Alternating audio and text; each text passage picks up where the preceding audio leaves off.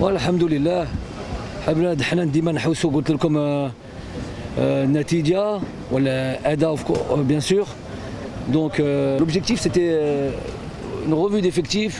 Euh, on a eu un effectif à quasiment 30 joueurs. Bon, il y a eu Andy Delors qui s'est blessé. Donc euh, مش سهل مش سهل parce qu'il y, a- il y a beaucoup de joueurs.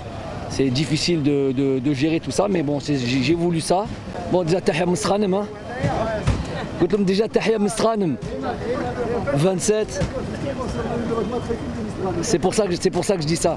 Non, non, mais c'est euh, ces 27 matchs-là, c'est ça veut dire beaucoup de choses. Ça veut dire, euh, je l'ai je l'ai déjà dit encore, je le répète, de la constance.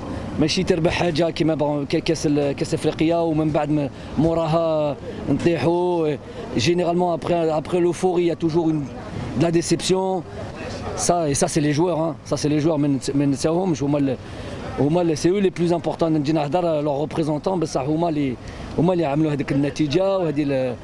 cette, euh, ce, ce, ce record-là. Inch'Allah, pourvu que ça dure, ça voudra dire qu'on est, qu'on est encore... Euh, qu'on est encore constant et qu'on est encore dans le travail. Ça va pas être facile hein, parce que les équipes, toutes les équipes nous attendent, toutes les équipes ont envie de nous faire tomber. On va, on va rien donner, on va, on va faire le maximum à chaque fois. On a beau marquer des buts, si à chaque fois qu'on marque, on en encaisse un, de plus que, ceux qu'on a marqués, à la fin on va, nulle part. Donc euh, c'est un travail, euh, un travail collectif, c'est un équilibre qu'il faut trouver. On n'est pas trop mal là-dessus, on marque, on marque généralement beaucoup de buts, on en encaisse peu, notamment sur ces deux, gros matchs, c'est des motifs de satisfaction.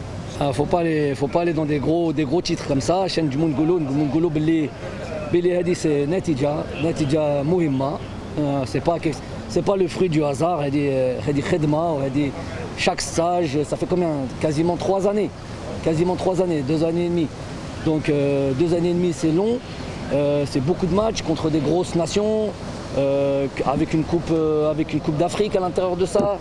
Donc c'est que les joueurs ont vraiment ils ont fait le travail.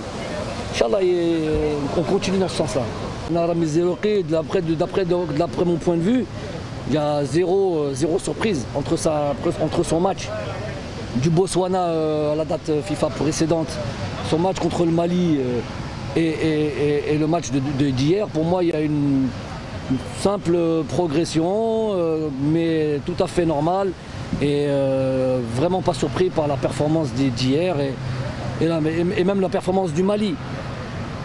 Contrairement à ce que, ce que certains peuvent penser, moi j'ai une autre perception des choses. Euh, c'est un joueur qui a très très vite, euh, vite répondu euh, aux, demandes tactiques, aux exigences du haut niveau, c'est le niveau international. Dans une équipe où il y a beaucoup de compétition, il y a beaucoup de concurrence.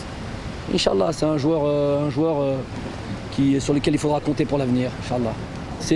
N'oublions pas Bedran aussi qui a, fait, une belle prestation déjà contre la Mauritanie. Donc c'est des joueurs qui viennent se rajouter à l'ensemble de l'effectif. Et c'est une bonne chose pour nous. Euh, Bedran aujourd'hui qui a pu jouer, euh, Touba, Belkebla. Euh, voilà, tous ces joueurs-là, je, vais en oublier certainement, mais voilà, c'était le but de, ce stage, faire jouer le plus de joueurs possible. Djibouna la Coupe du Monde, Djibouna déjà la qualification. D'abord, c'est la qualification. On a fait quatre Coupes du Monde dans, dans l'histoire du football algérien, c'est bien. Comparé aux autres équipes africaines, c'est bien. Mais c'est pas, on n'est pas, encore, euh, on n'est pas encore, par exemple, je sais pas moi, la France, l'Italie, l'Allemagne, chaque Coupe du Monde, ils sont là. On n'est pas encore ces pays-là. Donc, se qualifier à une Coupe du Monde, je dirais pas que c'est un, énorme exploit, mais ça reste quand même un exploit, ça reste quand même quelque chose de difficile. On a déjà, déjà, Inch'Allah, il faut se qualifier. Commençons par là. Et quand on y sera, Inch'Allah, il quand on y sera, on reparlera des objectifs, une fois à ce moment-là. Mettons pas la charrue avant les bœufs.